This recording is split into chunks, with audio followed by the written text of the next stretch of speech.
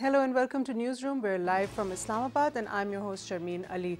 Uh, we're going to be talking today about uh, the uh, the main, uh, the, the most senior person in the State Department of the United States who is responsible for South Asia, Alice Wells' visit uh, to Islamabad. She has acknowledged that uh, Pakistan has made um, great progress in, in the implementation of FATF recommendations. In her exact words, she said it is heartening to see that Pakistan's government has made significant significant progress on these matters and that too in a short time. And uh, she also acknowledged the scarcity of resources that Pakistan's government is working with towards uh, these goals. Also, we'll be talking about how Prime Minister Imran Khan now in his three-day visit to Davos for the World Economic Forum, how he is going to maximize the potential of this particular forum in order to project Pakistan's uh, image and also to in increase economic opportunities for the country. We'll be talking about that uh, on our program as well today. And uh, to begin with, um, when we're now going to discuss the challenges that Pakistan faces with the FATF right now. Uh, the Minister uh, for Economic Affairs, Hammad Azhar, is in Beijing to uh, have uh, the points reviewed by the FATF team about how far Pakistan's made progress towards their recent requirements. Um, let's uh, have a look at this uh, report first, and then we'll be talking to our guests.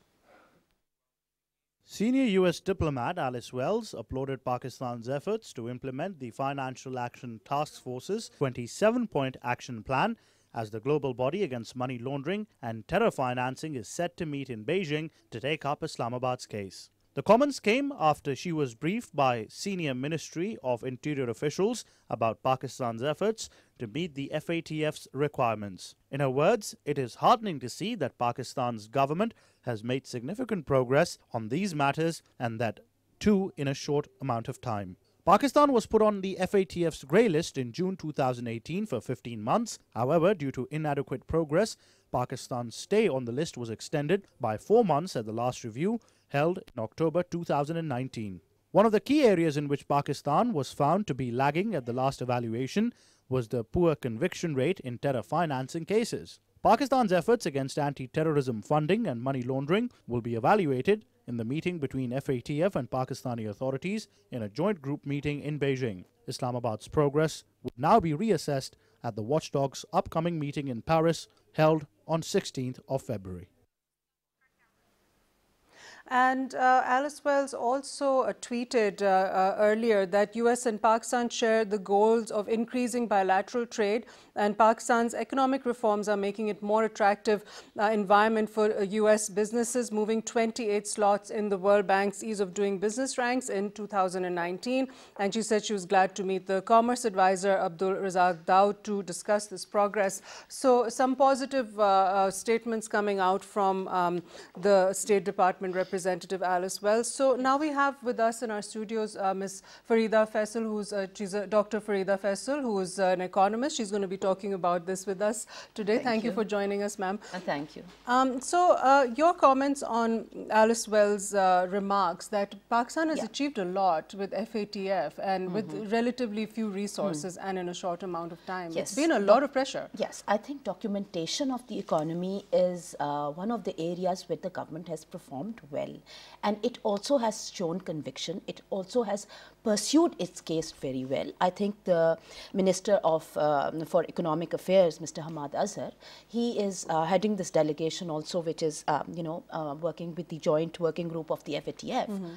And so they have prepared this case, uh, you know, a, a, a, very complete, comprehensive 600-page documents answering those 22 queries actually, mm which were placed upon Pakistan and why Pakistan was retained in that grey list. Mm. So we are the countries, one of the countries which is being monitored. Mm. We are not the only country, by the way, let me tell you.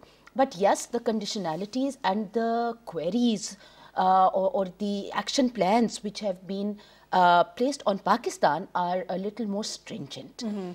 So in what that context, the countries that are on the blacklist, and uh, one of on the blacklist, mm, there is Iran, and mm. then there is North Korea. So mm. these are uh, the, the, two countries which they say are not cooperating at all. And the, the repercussions are, of being on the blacklist, uh, or, on the blacklist are then the advisory. Now there are 39 members, uh, Sharmeen of the Financial Action, Action Task Force in which United States is there. Unfortunately, India is also there, which, you know, doesn't play up very well for us. But these are the important countries. The G7 countries are there. So the, uh, what FATF does is that it, it's a watchdog. It then advises its members not to invest in these countries or not to have, let's say, um, uh, very cordial financial relationships with these countries. So you are kind of economically isolated Right. if you go into the blacklist. Okay. But as far as the grey list is concerned, also that kind of casts a negative shadow Hmm. on your economy. But so therefore, it is it would be best if you come out of that group who are so closely monitored. Right. And in the grey list also, as I was telling you, Pakistan um, status is that. Uh, you know, very short time frames are given to us, and uh, the action plans, their implementation is is very being mm, very closely monitored in Right. The last Pakistan. plenary meeting was in October, and they gave Pakistan four months till Yes. February, till the next one, in order to in to fact we were given some extra time also till february to you know to comply or to show improvement. But really um, if you look at it um, Sharmeen, uh, fatf is more of arm twisting i would say by the big boys. Because it's not that pakistan has not performed well or other countries have done better than us. It is maybe also a kind of political lobbying which goes on in these organizations uh, due to which i think that Miss Alice Wells' uh, comments are very valid and important for Pakistan, and it gives us hope that uh, you know our uh, position would not be further relegated. Mhm. Right. So now uh, the Minister for Economic Affairs, Hammad Azhar, is Yes. in uh, Beijing, and along with representatives from the National Terrorism Authority (NACTA), Yeah. uh, the Foreign Ministry, uh, State Bank, Interior Ministry. Financial Monitoring Unit, and they're all going to uh, be Yes. there to present our report to the FATF members, and uh, we're going to be uh, our compliance uh, on 22 major action points given Yes. uh, by the FATF. Now, Yes. the main ones right now that we have actually, like you're saying, managed to achieve is to uh, formalize a large part of the economy, which was previously informal, and that led to terror financing and money laundering abilities for people. Mm-hmm. So um, now that um, uh, the the progress that we've made, the measures that we've taken, how far along do you think we are in, all. Well, in you see, in combating terms that? in terms of getting the laws right, we have the kind of mechanisms now. We have a, a financial monitoring unit. Which uh, in the Interior Ministry, which is uh, particularly been, uh, you know, um, created for the very reason uh, that it should uh, document the economy, it should cut, uh, you know, it should kind of clear away any lacunas where illegal money can be parked or where terror financing can happen. So overall, you see, as far as the policy uh, level is concerned, that is uh, quite satisfactory. But then comes the implementation. Uh, so you see, you have, for example, uh, 500 cases which were registered under terror financing, but only uh, 55 out of those uh, you could see that the conviction uh, took place. So the conviction rate or actual implementation on ground is an area which has been, you know, um, a, a problem for Pakistan. Right, because the Interior Ministry has said that significant progress has been made on legislative and administrative matters, but execution has also been completed to a great extent. But uh, you feel that more has to be done. It more has to be done, and then uh, the terror outfits, which this FATF, more than a thousand, which they have identified, uh, more action, solid action against those is required.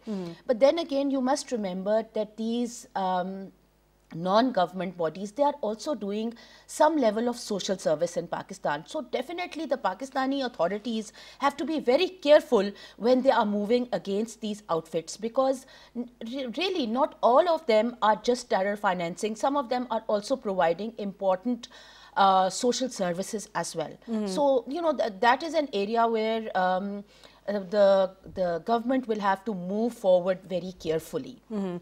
Right. Um, now, the team is going to be giving details on cases against banned outfits, Yes. which are also taking place at the moment. Uh, there's also uh, the number of sentences against uh, members of proscribed organizations. So, um, a lot of uh, this, the steps that have been taken towards Yes. this will also be um, presented to the Actually, FATF. Sharmeen, it is in Pakistan's self-interest to make sure that uh, these, um, you know, uh, that the laws are implemented, that we really clean up our own act and that uh, organizations uh, which are part of terror networks they should be identified and punished you know, it works in our own favor because also. those are usually criminal groups and uh, they are involved criminal, in criminal groups activities. not only but also uh, because they are mm, uh, they are you can say uh, the the whole terror outfits they are uh, not only working against uh, the economy of Pakistan, but the people of Pakistan also.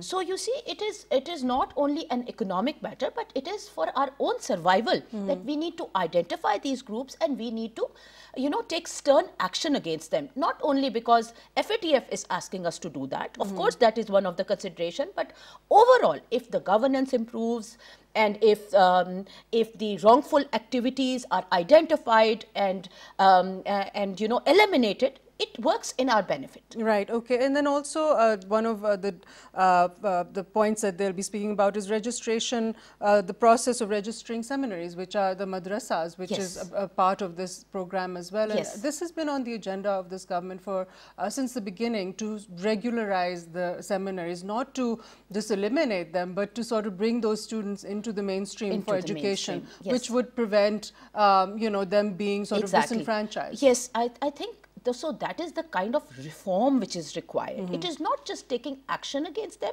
but as you said very rightly, bringing them into the mainstream, enabling them uh, to continue with the good social services which they are doing. Right. So we are not just moving against all seminaries, Mm-hmm. we are only moving against those who are creating problems, who are part of terror networks, you know, who are against the uh, the, the uh, citizens of Pakistan. Um, so identifying them and then enabling them to improve their stance, that is going to be part of the implementation, which at the moment is a little weak. Right, and students in the seminaries are going to be taught not only religion, but they're also going to be taught the other sciences and other art subjects so that Yes. they're able to give their matriculation and intermediate exams. Because as the Prime Minister Yes. said, he wants them to be judges and generals exactly. and all Other uh, than that, other they have, you doctors. see, uh, some of these action plans also talk about strengthening your judicial systems.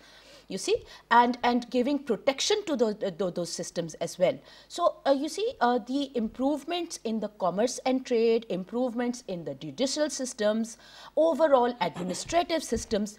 That is what is required to really show action on the ground. And Right. really, at this time, it works in our favor. However, However, this is important to be said that to be, you know, to consider uh, this is this is an activity which is trying to, you know, tarnish the image of Pakistan on the whole using this forum. That has to be very carefully, mm, uh, along with cooperation of some of the members of the FATF. Uh, so that this kind of agenda, maybe of the you know of of, of certain governments of, of of the lobbies against Pakistan, they should not uh, uh, you know be able to fulfill such agendas, which is there only to tarnish the reputation of Pakistan. Otherwise, fulfilling uh, these action plans works in Pakistan's favor. Right, and um, the other thing that uh, I'd like to ask now, we have a, uh, with us online Mr. Muzammil Aslam, who's an economist. Uh, thank you so much, sir, for joining us online. You're welcome. Sir, I'd like to ask you now that Pakistan has sent a delegation to Beijing to um, re- present its report under the Minister for Economic Affairs uh, leading the delegation, Hammad uh, Azhar Saab. Um, uh, in your opinion, how far along now has Pakistan come since the last uh, plenary in October when uh, Pakistan was given this four-month uh, grace period to present its case by February? I think we have we have done quite a lot in a very short uh, window. Uh, the notable things, if you uh, see, you know, they have done the NSS National Saving entire national saving deposit will be rectified through biometrics. This is the first thing, and which I believe is going to be a very uh, hectic and big exercise. But the government has issued the notification. The other thing is uh, they have imposed penalties on the banking financial sector. Recently, we just saw uh, more than five commercial banks charged to uh, you know uh, uh, compliance and KYC issue. Uh, thirdly, they have frozen the uh, uh, terrorist uh, activist account as well, and they have uh, taken the stringent uh, actions against them as well. Uh, so overall, uh, plus the smuggling the cub on the uh, uh, illegal trade they, uh, there has been quite a lot of uh, activity on that front. Last, uh, uh, uh, curb on the currency smuggling, uh, be it through airports or from the border. The government has done quite a lot. So I believe Pakistan at least have done a lot just to avoid. But if, if you look at closely, uh, the space of two, three months, uh, these reforms are not easy, so one should give them, uh, one should give credit to Pakistan uh, regarding and the seriousness in implementing the FATF conditionality. Uh, right, uh, sir. So, as far as uh, the steps that Pakistan has taken against uh, money laundering, we mentioned that um, there's been penalties on uh, you. You'd mentioned on, on, financial institutions that are non-compliant. There's also a lot of documentation taking place right now everywhere. Whether it's in banks, the consumers are having to undertake a lot of documentation at airports. there's a lot of restriction on the you know amounts of money going in and out, etc. So, your comments on that, sir? I think uh, uh, uh, Pakistan is, although one can easily make it fit on Pakistan, it's a short-term pain and long-term gain at the moment. whatever the reforms and documentation we are going 您所拨打的用户线故障。 The subscriber um, you're calling. We are having uh, some technical difficulties with our guest online. Uh, Dr. Farida, we're yes. just talking about now um, the steps against money laundering. Now, mm. we're seeing that Pakistan's economy and the, the, mm. the public here has been hit very hard mm. in some ways by the um, necessary but difficult steps that the government has had to take as far as yeah. IMF uh, is concerned, their requirements, and then FATF as well. Mm. Suddenly, the whole system of the way Pakistan worked is, you know, changed overnight almost for mm. Pakistanis. Mm. So we were talking about the additional documentation, etc. Mm. There's a lot more required now in banks mm. when you're transferring money out, if one is mm. traveling. So your comments on this, ma'am? Yes, of course. It is a, a very difficult exercise. I mean, um, uh, documentation of the economy uh, requires and uh, but I would say that a lot of back-end work has been done because of the improved systems which are digital systems. Mm -hmm. So uh, integration uh, and then monitoring by the state bank also that has has has had a, a, a big impact on the way business is being done in Pakistan and that has imposed a cost on us as well. Mm -hmm. But you see to identify the defaulters it is difficult. Mm -hmm. um, so everyone has to uh, I think the entire system uh, needs to have uh, reform itself and for some people it is can be quite a big burden. Uh, those who are already doing their uh, business, um, you know, uh, in a fair and transparent matter, manner, for them it is not an issue. Mm. But the real issue is how to identify the defaulters. Mm. And so th that is why the entire economy, which it, uh, before uh, this, um, there were many areas which were gray or dark areas. So now they, they need to be identified and they need to be uh, strict action taken against those who are not complying. Right, and uh, as far as anti-money laundering uh, measures take place, that's also uh, important for Pakistan so that mm -hmm you know, the, you don't have money flowing out of the country, which is Pakistan's, mm. which we've had in the past. So for that, one also needs to have cooperation with foreign governments. Exactly. So, I mean, that is, uh, you know, quite, um, um, you know, it's quite shocking. How come FATF is not moving against some of its member states, which are providing these safe havens where the money, um, the uh, money which is raised through corruption, which is, you know, gained through wrongful means. It is being um, transferred out of the country. So it is unfortunate that uh, Financial Action Task Force is not uh, you know, putting enough emphasis on those countries which are the beneficiaries of these, this kind of uh, transfer of funds outside the country. Right, and we also spoke of uh, the resources because with relatively few resources, Pakistan has achieved this. And I mean, uh, everything from technology to monetary resources, it's been very a huge strain on Pakistan to actually exactly. fulfill these requirements. Exactly. So, uh, right. So now moving on to our next uh, segment, which is about uh, Prime Minister Imran Khan's trip to Davos. Over the next two days, he will be there projecting Pakistan and, uh, uh, and kind of uh, maximizing the potential to bring investment and business economic opportunities to our country. Let's have a look at his agenda for this summit.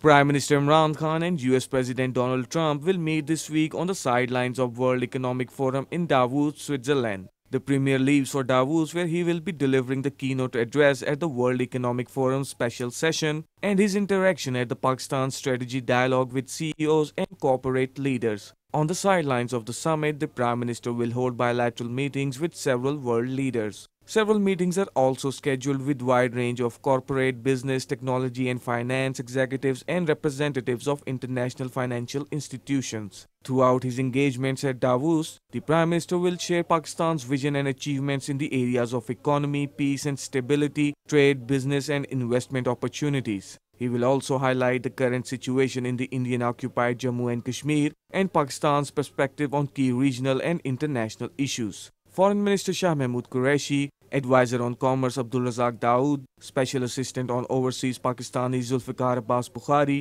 and Special Assistant National Security Division Moeed Yusuf are accompanying the Premier.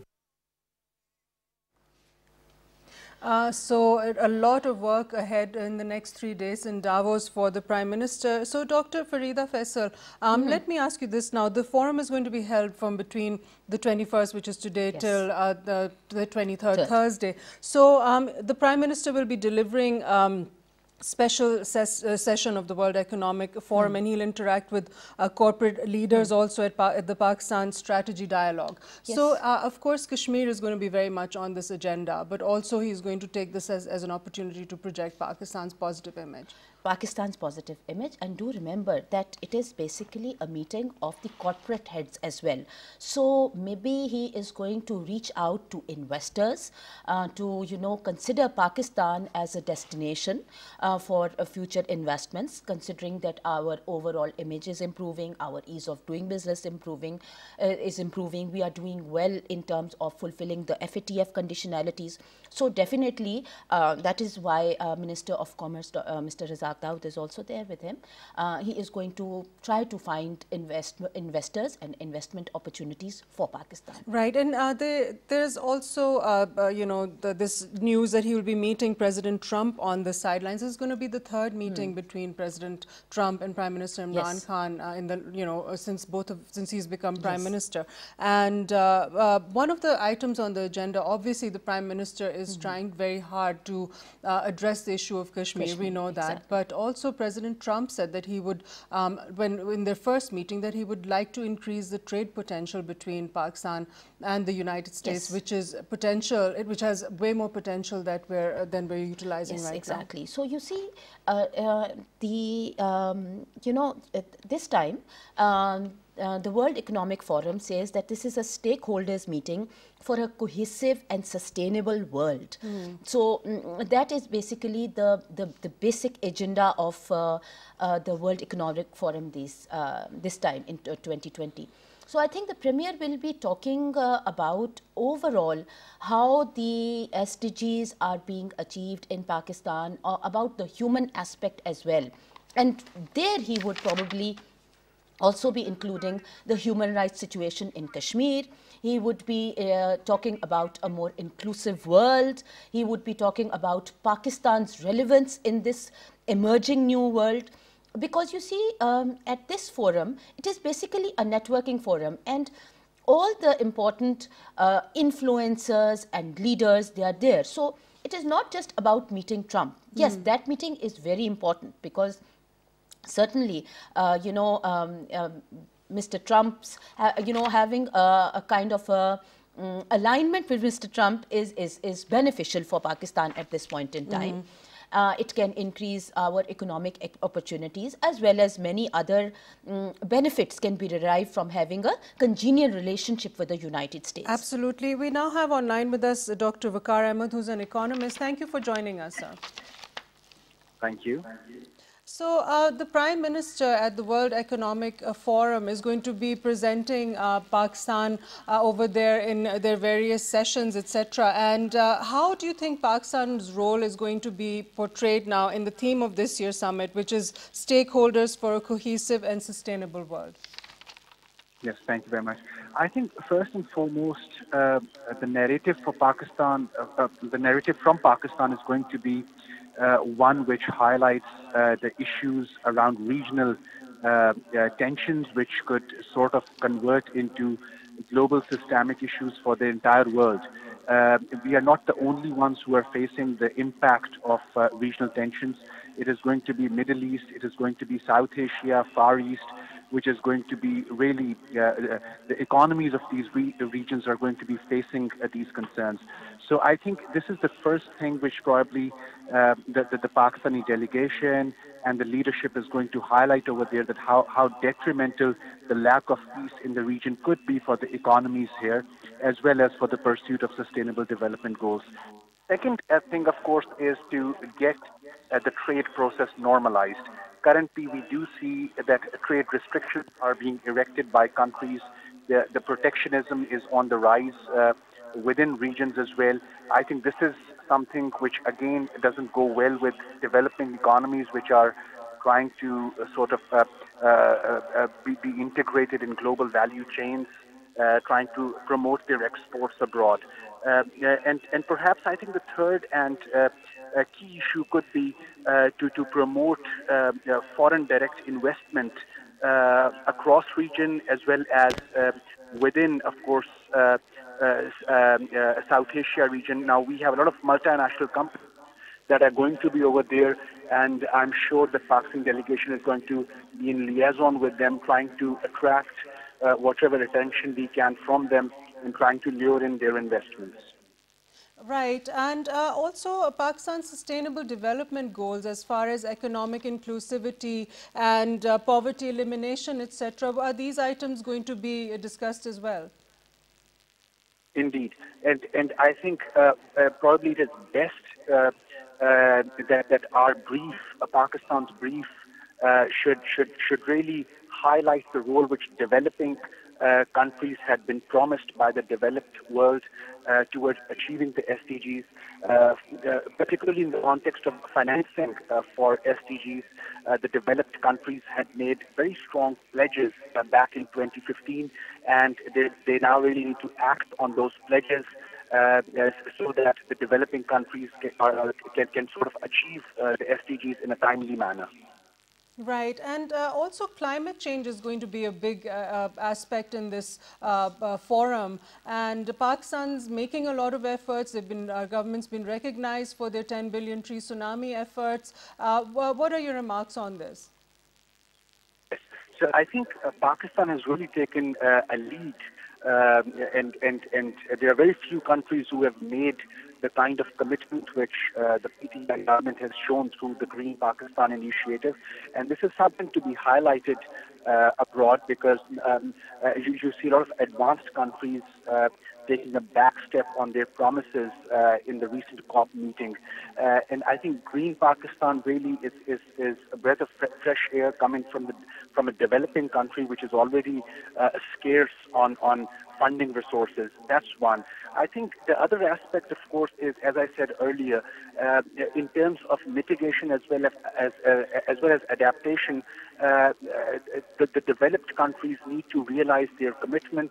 Of course, uh, they, they, have a large uh, um, sort of funding envelope which they need to uh, sort of fill in uh, to, to, to sort of uh, get the, the, the damage which has been incurred under control. the corporate sector, of course, has to realize their responsibility and, and under both mitigation as well as adaptation scenarios. Right, and also uh, technology and artificial intelligence are also at the forefront of uh, this forum. And uh, how, uh, where does Pakistan stand right now? How much further do we need to take uh, our country as far as this is concerned? Yes, I think in this, um, a, a, key aspect is the, the future of work. And as we move towards uh, increased use of technology, automation, uh, uh, uh industrial um, uh, revolution 4.0, I think production processes are being changed. Now, this is going to have impact on labor market. A lot of your current skill set which the labor uses is going to be uh, is going to become redundant.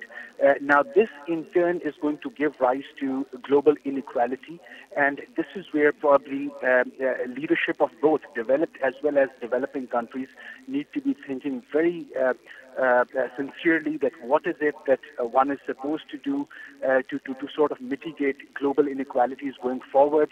And, and labor would require expanded set of social safety nets. that is something which needs to be decided at the UN levels. Right. Okay. And, and how about the role of the youth going forward in Pakistan's economy and development? Because we have a youth bulge, and as far as educating the youth and skill building is concerned, what are the steps uh, to go forward? Yes, I, I, think one of the key things here is to uh, uh, is for the government to work on integrating Pakistan youth with not just education sector, but also uh, the, the labor markets abroad. A key aspect that one finds uh, deficient uh, in, in Pakistan's youth is, of course, uh, its its uh, compatibility with uh, the, the, the, demands of global labor market. I think this is where our higher education systems uh, need to be aligned in line with global demand. Our vocational as well as technical training facilities need to be aligned with global demand. Now, I think meetings like these are an excellent forum where uh, one really needs to discuss what other countries are doing, number one, and what is it uh, that the Pakistani government can really uh, do in collaboration with other economies, such as, for example, exchange program for youth. Uh, and, and, and I'm sure there could be other variants which, which can be promoted through uh, youth diplomacy. Right. Thank you so much for joining us online, uh, Dr. Waqar Ahmed. Uh, and uh, also, um, Dr. Farida, we were talking about how the World Economic Forum is a very good networking environment. So yes. there are going to be business leaders there, are going to be CEOs of top corporations yes. there, etc. So uh, this is a good time for the whole delegation that's gone with the Prime Minister yes. to actually attract those business leaders to, uh, you know, see Pakistan now because the security situation, there's still a perception mm -hmm. abroad, according to recent reports, mm -hmm. that that you know Pakistan um, maybe you know still uh, not completely safe for investment, mm. etc. So these are the kind of forums where you clear up those perceptions. Exactly, and and represent Pakistan and represent all that is uh, the positive changes that are taking place in Pakistan. Um, highlighting the fact that we have such a young population. Mm. We have 60% of our people, and uh, you know, who are in the working age bracket. Right. So these are the kind of human resources which are available to us. Their grooming can really transform the way, um, you know, business is done not only within Pakistan, but the same opportunities can be honed in by the multinational companies as well. And the leaders of these multinational companies are at Davos. Mm. So it's a great opportunity to help them realize what Pakistan has to offer. Right, absolutely. And also uh, tourism. As yes. far as uh, Pakistan's been trying to promote itself for tourism, because yeah. we, since the day that Prime Minister Imran Khan was sworn into office, mm -hmm. he's mm-hmm. been talking about Pakistan's potential, its beauty, etc. So at such a forum like this, that, that would also be an ideal place to sort of project Pakistan's uh, yes. uh, tourism potential. And, and you must, uh, you know, over here give full credit to our premier. He is a very charismatic person. So, I mean, his charisma will work in Pakistan's favor at this time because, you see, I think Pakistan is a kind of a secret. Uh, that is why, you know, we are getting rave reviews these also mm. days that we are, uh, you know, a kind of a, a country which is a very, um, which holds a lot of curiosity for the, for the West. Uh, so as long as they're assured that uh, it is a safe place to travel, I think a lot of opportunities can be created. Right, and it's been labeled an adventure travel destination, yes. one of the top in the world, and mm. you know because of all its uh, its peaks and exactly. its northern areas, and uh, we have some of the highest peaks in the world exactly. in the Himalayas. So mm. that's always been an attraction for your sort of adventure tourists, uh, mountaineers, etc. Mm. But now we're sort of trying to take it into the mainstream for tourism as well. Tourism as well, and trying to counter the negative propaganda by the Indian lobby that maybe you know it's not a safe place or maybe it's it, you know it's an unsafe place to travel. It's a good uh, you know, uh, a point where all the important uh, corporate as well as the governmental leaders are there that these uh, issues, that these negative uh, images can be dispelled. Right. So there's a lot of work ahead, and Yes. definitely uh, Prime Minister Imran Khan has a huge job ahead of him Mm. to uh, whatever he's trying to achieve at Davos, and otherwise as Mm. well, as far as the economy is concerned, because at the end of the day, it comes down to Yes. that: uh, how well does our economy do? And uh, recently, the Prime Minister asked the business community uh, to, you know, pay their taxes to ensure the country's prosperity. We also know that the business community has had their gripes about um, the different IMF measures, the, you know, electricity tariffs also uh, going up and the interest rates being higher. So your comments on this, uh, ma'am, that um, the, the, the, he's just had a meeting with the leaders of the chambers and all, and they were asking for relief. Yeah. Yes, you know, there are some real issues there. But I tell you what, perception is a big deal.